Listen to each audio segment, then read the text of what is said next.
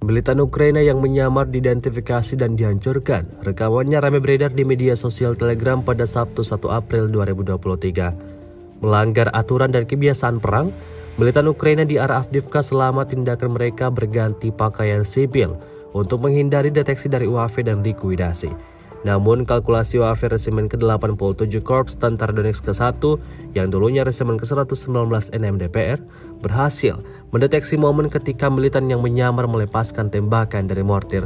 Para prajurit itu kemudian diserang mengenai posisi tembak mereka dan benteng yang dipasang pada sebuah rumah, seperti yang terlihat dalam rekaman. Memasuki hari ke-401, Rusia melaporkan secara total 404 pesawat Ukraina dan 227 helikopter 3.625 kendaraan udara tak berawak, 415 sistem rudal anti pesawat dieliminir sejak awal operasi khusus. Sementara itu dari kubu Kiev, Kementerian Pertahanan Ukraina melaporkan 460 tentara Rusia dieliminir dalam sehari terakhir.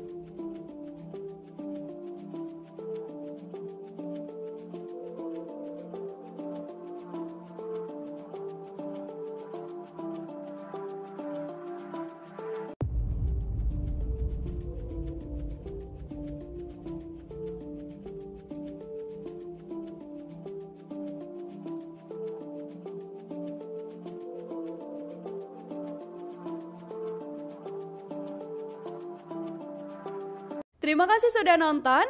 Jangan lupa like, subscribe, dan share ya.